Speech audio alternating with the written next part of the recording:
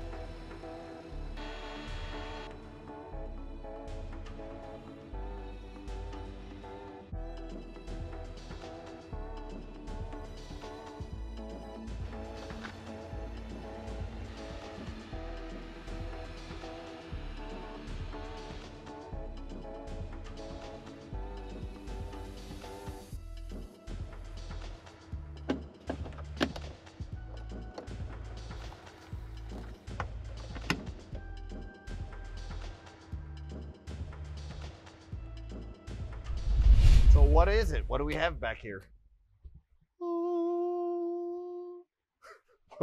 What we- actually have back here is all of our electrical wiring.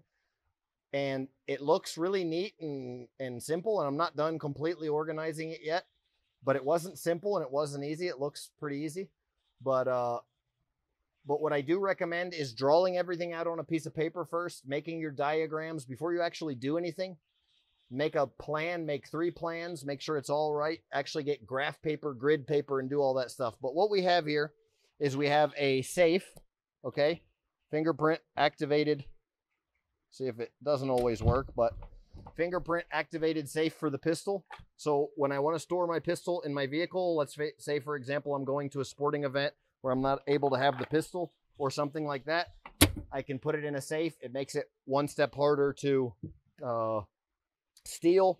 Then what we have here is the amp for all of the speakers, and we've got a crazy speaker system. Stay tuned for the speaker system video, or if it's already posted here on the channel, it's probably already posted here. Go check it out. Awesome speaker system. We've got the two Rockford Fosgate amps. This is for the mids and highs. This is for the lows. Okay.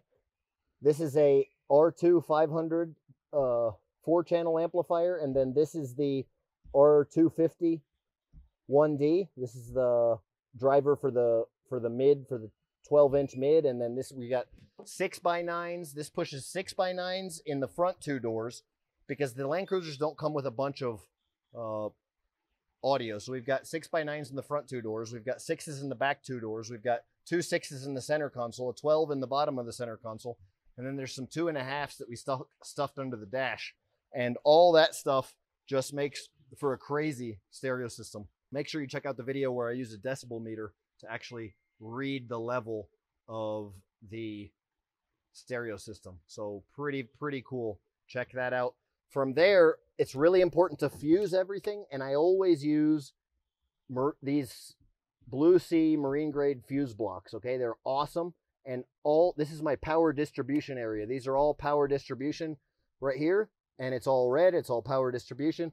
This is my ground distribution block. It's connected to the battery, and I've got all my ground cables running to this. I've got a pure sine wave power inverter, so I can do all of my charging of anything on the run, charge all of my camera equipment, make my YouTube videos, all that kind of stuff. We've got the compressor over there in the far corner, and that little box you see above the compressor is the RGB rock lights.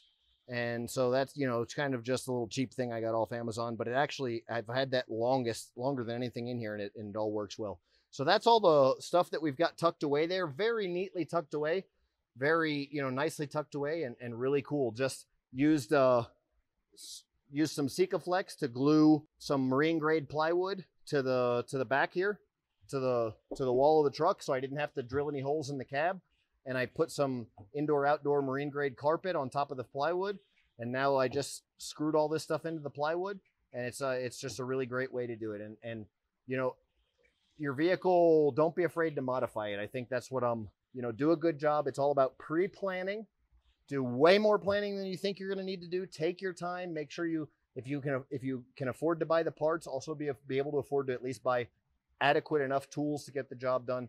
But that's kind of my tip for the day. And hopefully you guys can take some inspiration from this build and work on doing things themselves. Questions and comments below. Make sure you're subscribed to the channel so I can keep making more cool content like this. And thanks for watching. Bone out.